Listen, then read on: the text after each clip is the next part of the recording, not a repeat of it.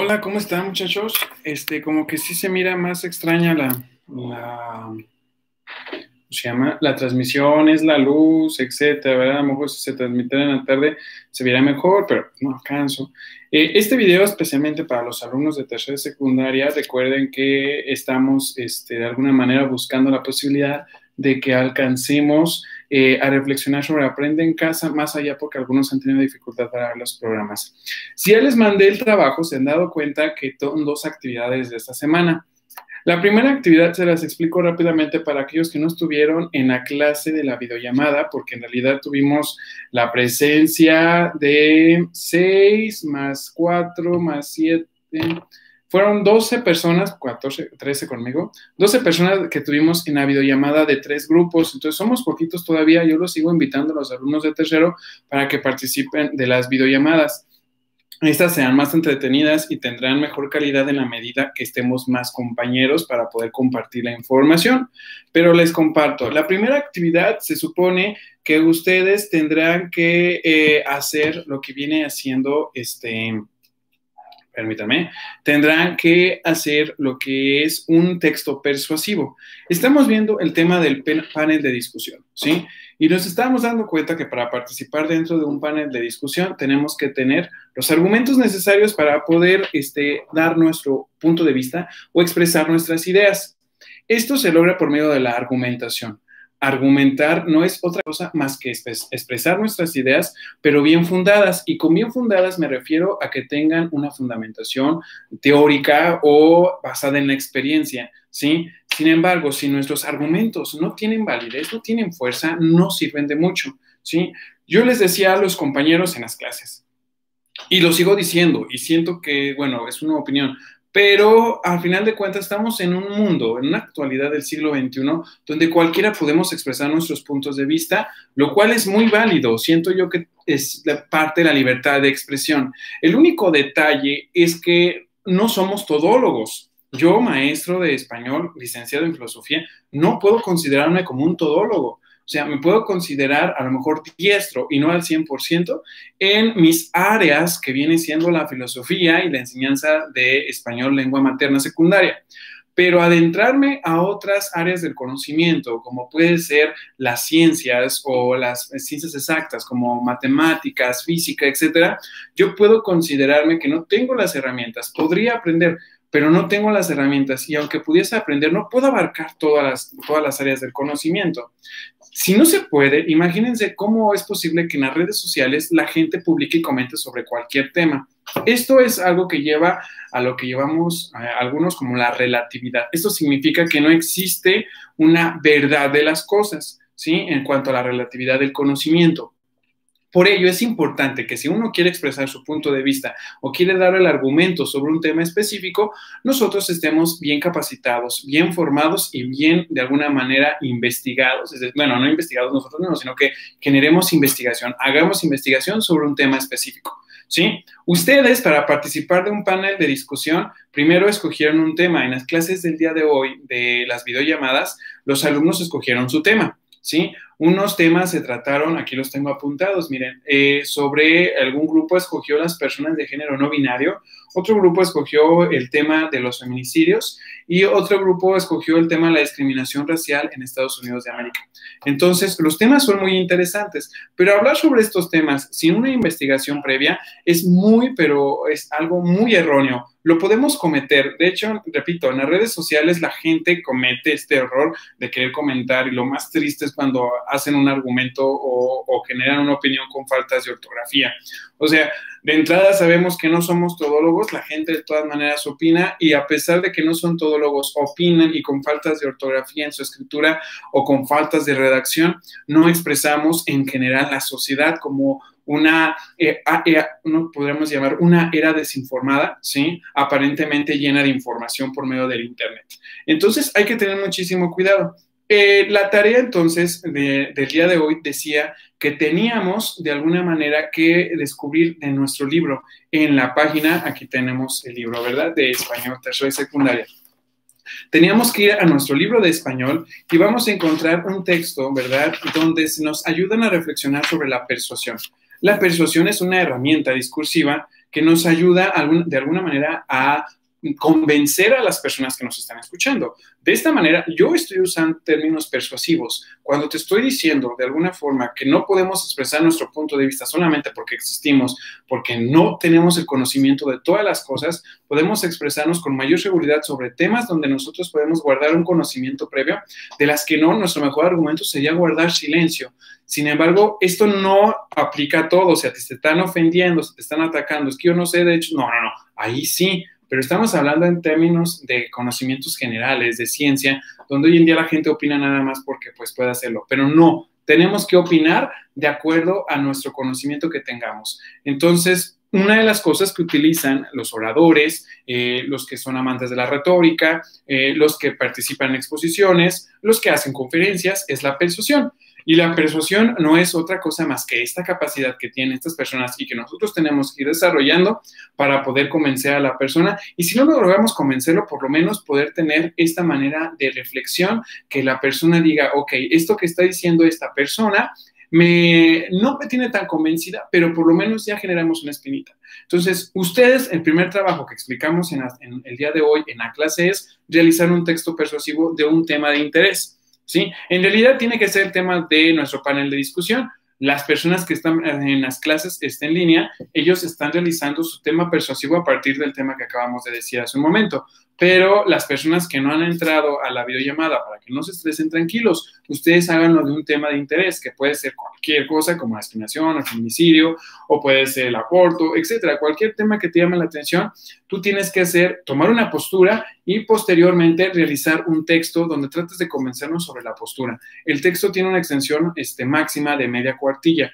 Cuidado con tus faltas de ortografía porque ya estamos revisando con mayor detenimiento. ¿sí? Hoy en la tarde, después de esta llamada, bueno, de este video, tenemos una, tengo una reunión y después de la reunión me voy a poner a hacer, a revisar los trabajos que me mandaron el día de hoy.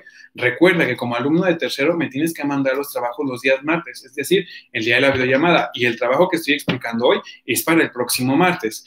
Ahora, aparte de este trabajo, se dejó otro trabajo que es alusivo a este video. en este video estaremos explicando sobre los tipos de argumentos. Les bien les decía en la clase, y ahora se los digo a ustedes, en términos a todos los alumnos de tercero y secundaria que logren ver el video, que una de las herramientas también que nosotros tenemos, aparte de tener esa capacidad persuasiva o de convencimiento por medio de las palabras, es también lograr armar un argumento correcto y verdadero.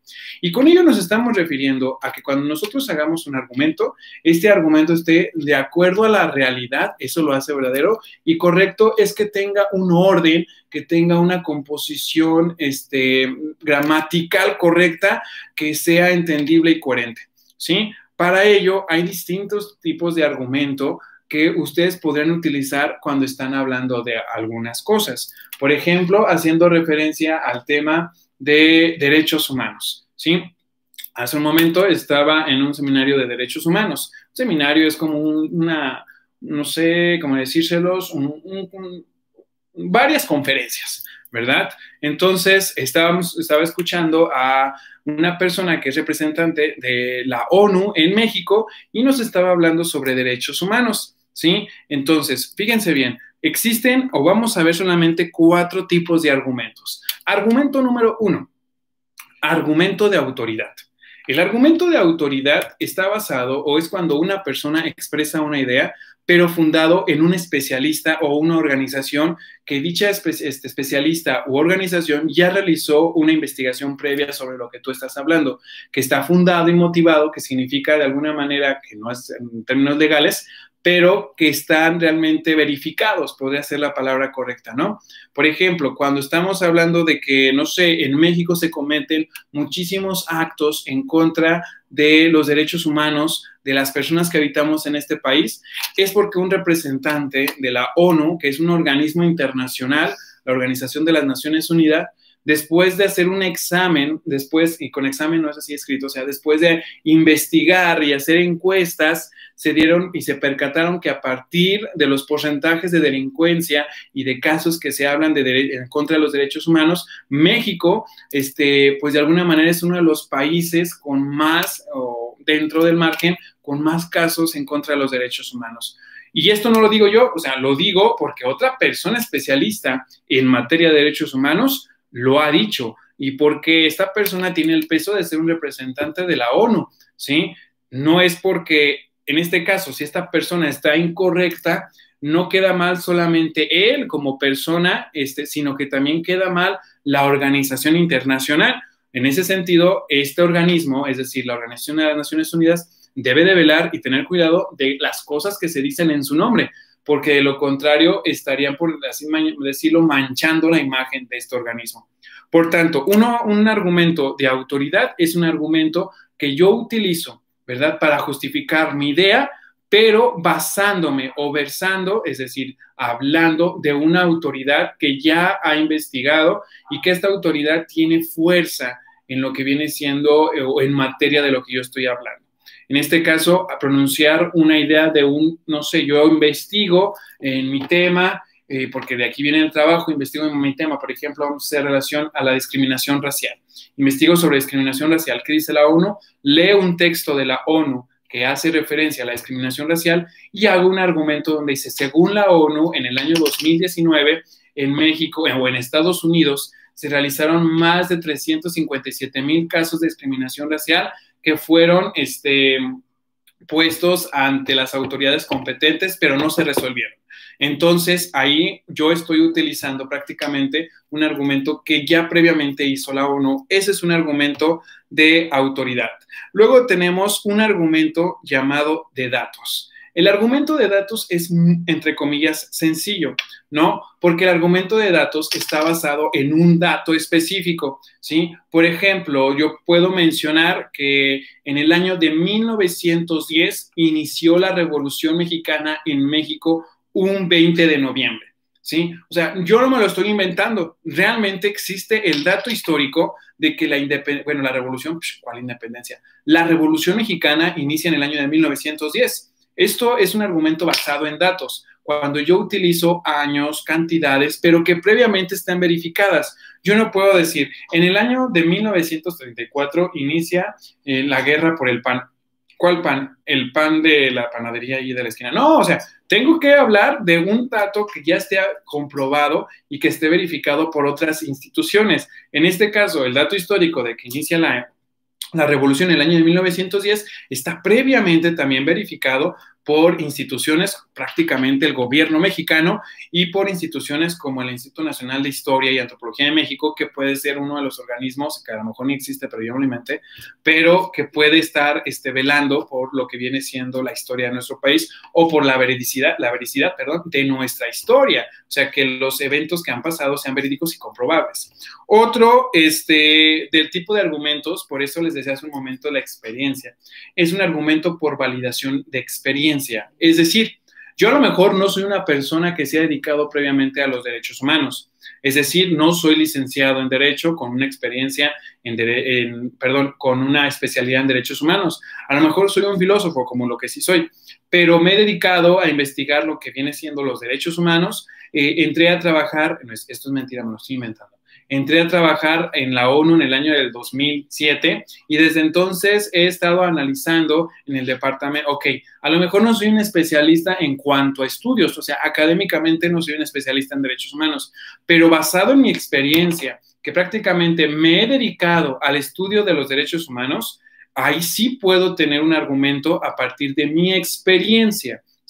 La experiencia que uno logra a lo largo de los años le da validez y fuerza a los argumentos que uno dice. No sé si alguno de ustedes ha escuchado este dicho que dice que más sabe el diablo por viejo que por diablo. ¿Qué quiere decir esto? Esto generalmente lo dicen la gente adulta.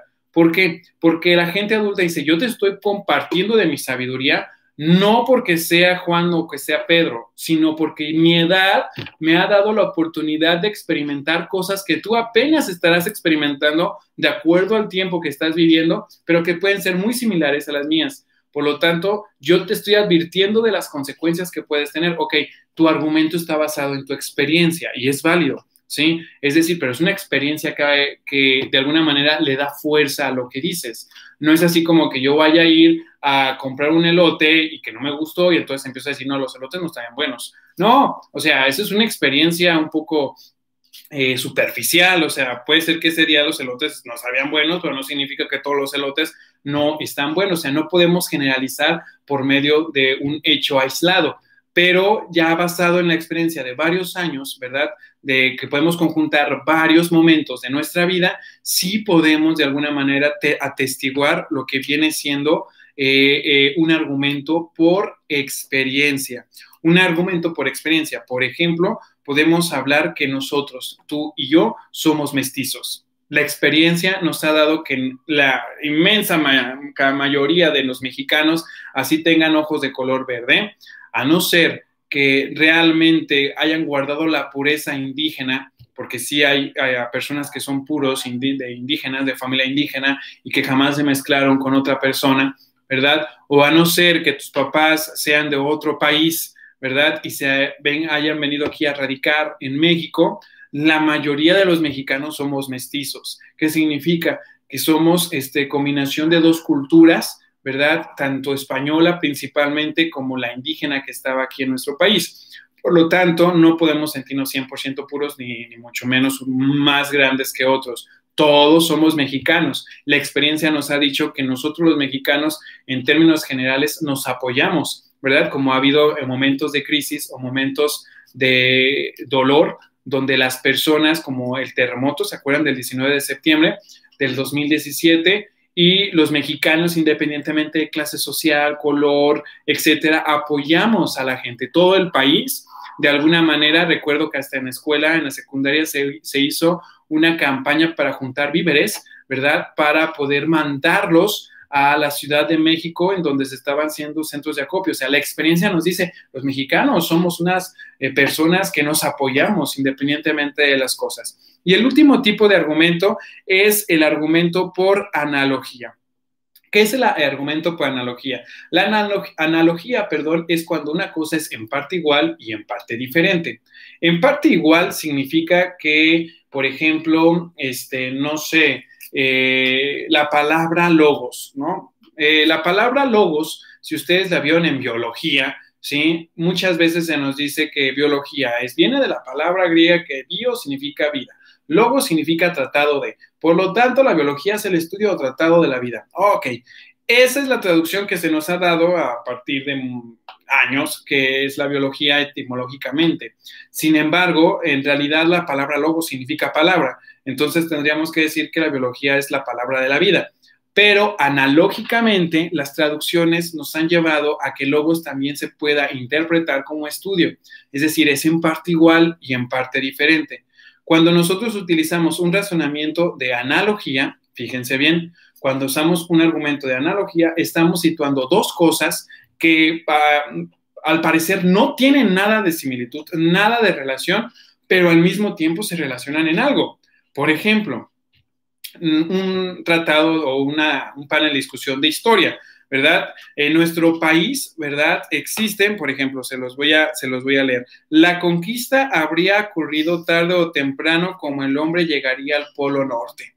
¿Qué significa esto? O sea, el hombre en el año de 1521, que fue cuando fue la conquista de México, no, no había llegado al Polo Norte. ¿sí? Sin embargo, lo que quiere decir esta analogía son dos eventos aislados, la conquista de México y la llegada al hombre a la luna o la llegada al hombre al Polo Norte. Son dos cosas aisladas, pero las dos cosas se dieron. ¿Sí? Esta es la analogía. En parte son diferentes porque son hechos históricos aislados y en parte son igual porque los dos este, momentos históricos se dieron y se iban a dar, ¿sí? ¿Por qué se iban a dar? Porque históricamente hablando, de acuerdo a las, este, no sé, a las situaciones que vivíamos en ese momento, México o el gran Tenochtitlan eh, iba a perder, ah, no porque España fuera un país superior, sino porque México estaba de alguna manera dividido. España supo aprovechar cómo las culturas indígenas de alguna forma estaban divididas entre sí y las puso a competir entre ellas. En realidad los españoles no es que hayan llegado con un ejército enorme, sí tenían a lo mejor armas diferentes, pero México pudo haberse defendido o los indígenas se pudieron, ese es el punto de vista del profe. Sin embargo, lo que pasó es que al estar divididos, España aprovecha y prácticamente ataca indígenas contra indígenas hasta ser vencidos, ¿sí? O sea, era algo que iba a pasar. Si no llegaba España, podía llegar Francia, podía llegar Portugal, podría llegar Inglaterra y no se iban a conquistar. La única diferencia es que el idioma que hablaríamos en este momento sea diferente. Si hubieran atacado a los franceses, hablaríamos francés. Si hubieran atacado a los ingleses, hablaríamos inglés. Si hubieran atacado a los portugueses, hubiéramos hablado, pues, portugués, ¿sí? Entonces, aquí lo que quiere decir es que nos iban a conquistar y hubiera sido un país o hubiera sido otro. Así como también era un acto evidente que una vez que el hombre descubrió que existen muchas rutas en nuestro planeta y que el planeta no era plano, sino que era redondo y que escondía grandes territorios, pues iba a llegar a lo que viene siendo el Polo Norte y el Polo Sur. O sea, tuvo que llegar porque ya sabía de alguna manera a partir de los descubrimientos científicos que podía acceder a ellos. Entonces, ¿cuál es el trabajo? ¿Verdad? Porque tengo otra reunión ahorita, pero ¿cuál es el trabajo prácticamente? Este, permítame.